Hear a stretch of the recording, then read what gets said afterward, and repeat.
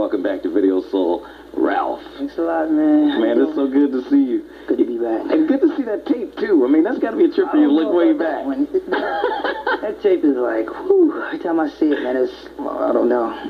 But coming behind that, I feel like, you know, it's, it's like, Ralph Tresvant, this is your life. And your kindergarten teacher's going to come walking through the elevator or something. That's how I keep feeling. That's what I keep saying. I'm like, oh, all of a sudden I feel like I'm back in the past again. Here she comes. No, that ain't her. I'm kidding. I'm kidding. I've seen this show when them surprises come when that bell rings. You're right.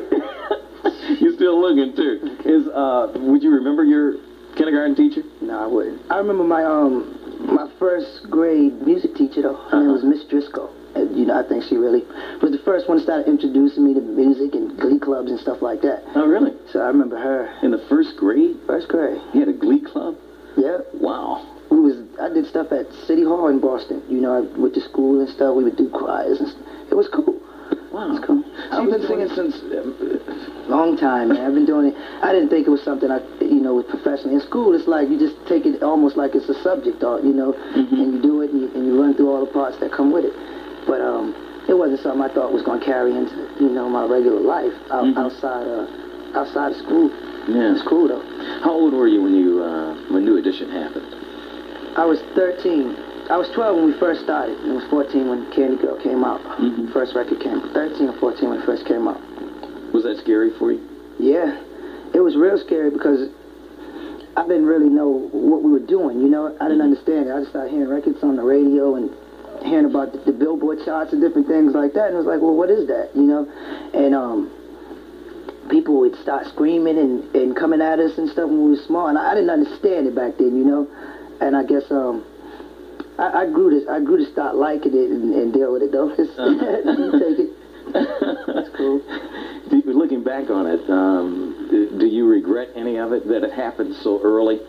I mean, No, I mean, I, I, I really feel feel special. I feel real honored. I'm glad that we started so so young because with the mistakes that came with New Edition, we are able to overcome them. You know, we are able to have time to still move on and, and, correct mistakes and learn in the business instead of Mhm. the one shot and then mess up and then that's it. You know, because sometimes. Like I can see if we started right now, I don't see we, we'd be able to make the same mistakes this time mhm. you know, as we were able to make when we were young, because we were cute, and it was a whole thing like that. You know, nobody really took it as serious as they're doing the solo stuff or the New Edition project now. So I think, you know, it, it, it, it was scary, but it's cool. you know, you guys did something that not many acts are able to do. It seems to me, because you run into from time to time, you see teenage acts that really happen, and y'all were that. It's just teenage sensation. But to see them grow into adulthood and continue to happen, that doesn't always happen. A lot of times, kids especially write them off. It's like, you know, I mean, you're only hot for so long with teenagers. It's the next, whatever's happening. Yeah, whatever. It's like they have one big teenager in the sky who calls all the teens and say, "Well, they're out. this group is in," and and it happens that quickly. You know, where you can sell platinum and come back and not be able to sell anything next album. Well, why is it that you guys were able to overcome that this New Edition?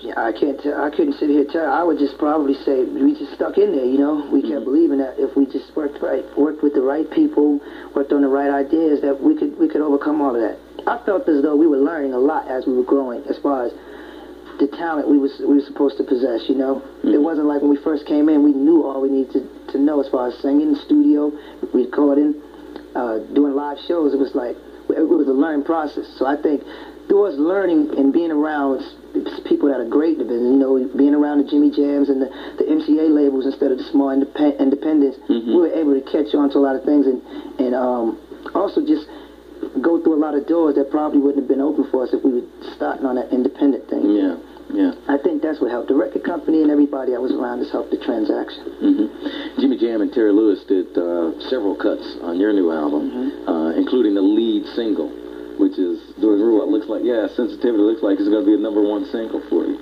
I hope so. It, yeah, the sensitive jamming them, man. I mean, they were they're my favorite writers, producers.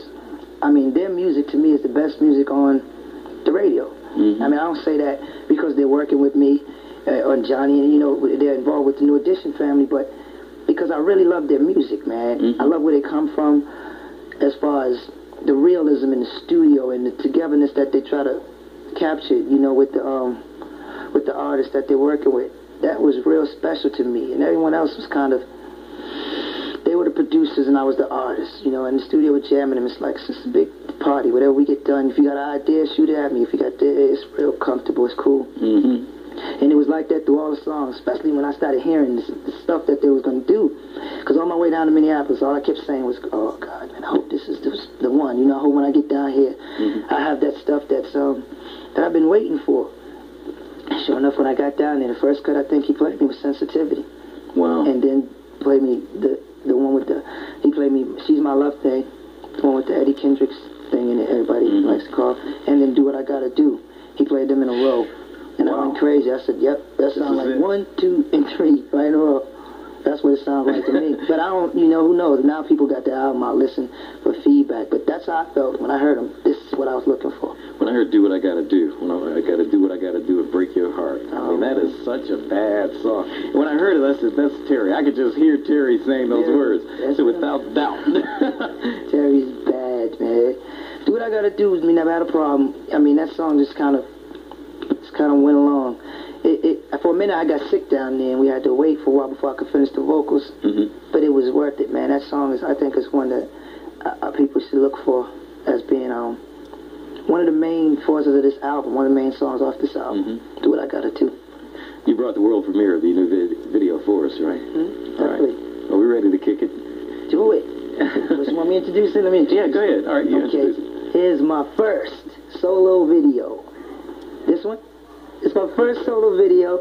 If everybody's watching, I know Shelly, my girl's at home. She's like, oh man, please. I've been waiting for this all day. I'm recording it. Record it right now. This is Sensitivity on BET. Ralph Tresvant.